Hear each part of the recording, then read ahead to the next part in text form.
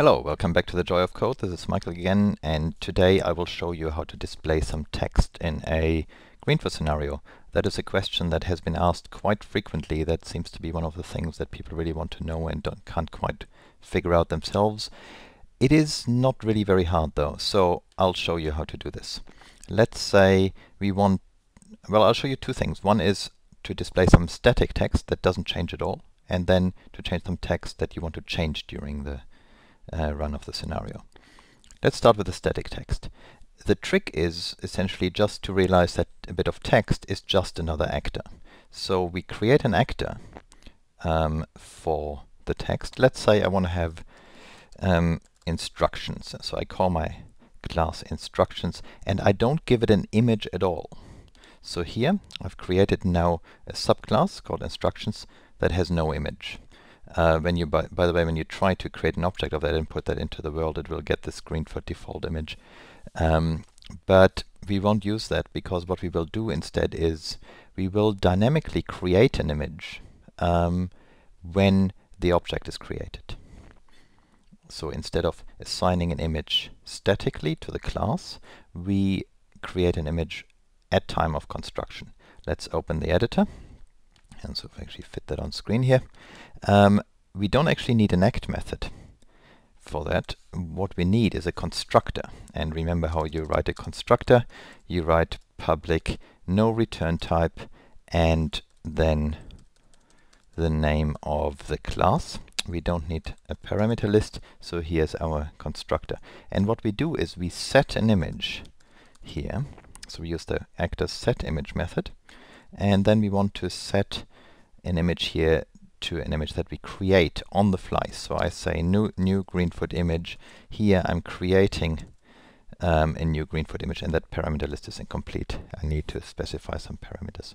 So let's have a look at um, the parameters that we have available.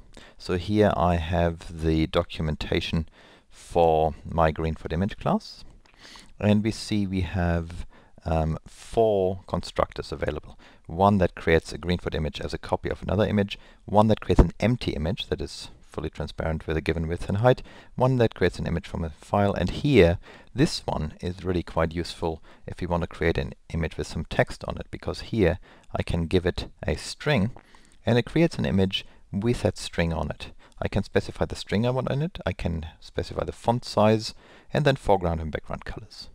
So here, because I'm dealing with colors, and they are Java AWT color type, so first thing I do is I import that color class again, as we have seen before. I import java awt.color so that I can use my colors which I need here. So let's say um, the text, so the first parameter of my image was the text, so I say please click to create circles that's the text I want to display. Next parameter was the font size. So say I make that 18 points. And then two colors, foreground color and background color. So here, um, let's say I say color dot white is my foreground color and color dot black is my background color. So here I'm creating a new image that has this text on it with that font size, those colors, and I set that as my own image. That is pretty much all I think I need to do. I compile this, and as soon as I create now an instruction, when I put that in here, there is um, my object. And now I see when I see the instructions and I can click. Um, so this is how you can create an actor that has text as its image. So that is how you create, how you show text on your screen.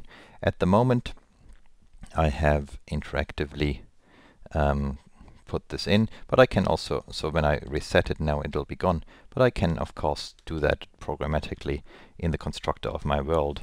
I can just say here, add object, new instructions and I add that at say 10 and 20 that is somewhere to close to the top left corner so if I do that um, close this and then I compile. Um, that is automatically here. Oh, no, that is, oh, I put it to 220, so I gave this location here. What I've forgotten is that actually um, the um, location I give is the center of the actor, so it's not the left thing, so it is the center here. So the easiest, if you want to find out where to put it, the easiest is just to put, place it by hand and check where it is. So if I wanted to appear here, let me just place it, I can do this, and then I click on it and say inspect. And I check its X and Y position. So at the moment it's at 113 and 380. So I use that. So I just say programmatically put it to 113 and 380. So if I now compile it, it will always put it there and I can run it. Okay, so that's the first half. Now let's make it a bit more interesting. If I want text that changes during um, the execution of the programs, for example for a score counter that counts up, um, let us do that as well. So I create a new subclass, I call it counter, and the idea is the same. I don't give it an image, I create an image on the fly, but this time I don't want to give it a um, a static image. I want to um, change the text on the image during the program. So I say public counter, same as before, and the idea is the same. I um, give it um, an image that I create on the fly, but this time I say set image um, new greenfoot image. And this time I use the constructor there where I just give the the width and the height. Let's say I make that 200 pixels wide um, and 30 pixels high. So I'm getting a rectangle that is fairly wide and just a little bit high 30 pixels high 200 pixels wide. Uh, so if we now were to create an object of this class, we don't see anything because this image, when I create an image by just specifying the size, it is completely transparent. But now um, I don't need um, the act method. Instead, I make myself a method called update. Oh no, let's um, I I call it uh, let's call it add score. Okay, I make myself a a method where I can add to the score. Um, and I make myself a method called update that updates the image. So update should show the current score. The current score I put in a variable here. I say private int score um, that is my score counter in a field and I say here score starts off while being zero. Then I create my image and I say update. Update should show the current score on the image. So here what I do in my update is I get my image get image. That's my current image and we know at the moment it's just a blank image but I will also update every time I add a score. So I cannot assume that the image is empty because later it will be um, will have the previous score on there because when I do an add score I will just say score plus plus which increments the score and I will also say update here. So this is every time I add the score it increments the score and updates the image. So the first time it should stay, it should show score as 1, next time it should sh show score as 2. So here the image that I'm getting might already have the previous score written on it. So the first thing I need to do is I need to clear the image. Um, next thing I need to do is I need to set the foreground color because the default foreground color for a new freshly created image is black and because my background is also black I don't want to write with black on black then I can't see anything so I say image dot set color color dot white okay I say I want to use white color and then I say image dot draw, and I can I can draw a whole number of different things. Um, the one here, draw string, is interesting. I can draw a string onto my image. So this is what I want to do. I draw a string and I draw the word score, colon, and there I use string concatenation and I append my actual score. This one here refers to my field score. I append the value of my field to that string, so I show the word score and then the number behind it. And then the question here now is where to draw this. Now, these coordinates that are right here, that x and y that is required here, are the coordinates on my image where I want to draw my string. And for that you have to know how strings are positioned. Let us have a quick look um, at how this works. So, when I have um, a picture. So let's say this here is a picture, um, an image, a Greenfoot image that I want to draw on. Uh, we know that in Greenfoot the coordinate system is always so that the 0, 0 point, the origin, is at the top left. So here is the 0x coordinate, there is the 0y coordinate. And now assume I want to write this string onto that image.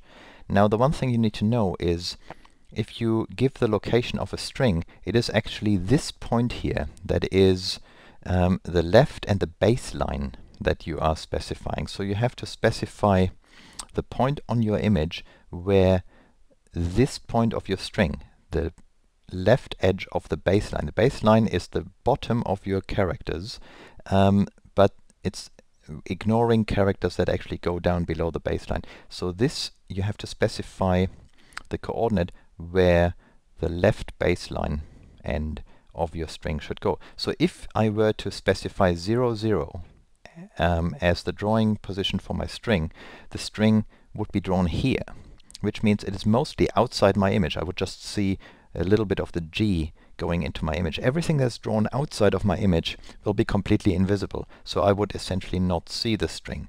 What I want to do instead, I want to draw the string here, which means as an x-coordinate I have to give a bit of an offset, and for the y-coordinate I have to give this offset.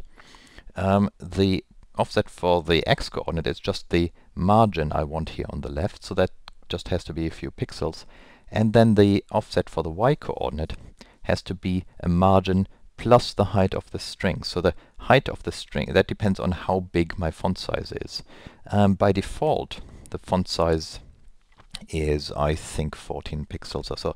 Let's say I put this here at um, 4 pixels in, that's the X, that's the margin on the left, and then I put that at 20 pixels. So remember I've made my, my image 30 pixels high so that I can go 20 pixels down and have a bit of space left to the bottom to show the characters that go below the baseline. So I have here got my own image, wiped it, and with white color written on it, score is this. Every time the image gets updated. And it gets updated once at the very beginning, and then every time I increase the score. Let's try that out. Compile this. Oops, I have a compiler error here, and it says here return type required. That is true. I forgot the word void here. Let's just compile that again. I have another error. Okay, the color is not known because in this class I haven't imported the color class. Okay, let's try again, compile. This time it does compile. Now we can try it out. Now let's compile the rest as well. Now if I put a counter in here, and I put it here, um, then it says score 0. And now every time here I invoke add score, counts up. So add score again, and there it counts up. So every time add score, it counts up. So every time I call add score, what it does actually is it increments the score by one and updates the image that then draws my current score onto the image. Okay, this is how you create text and such as a score counter in Greenfoot.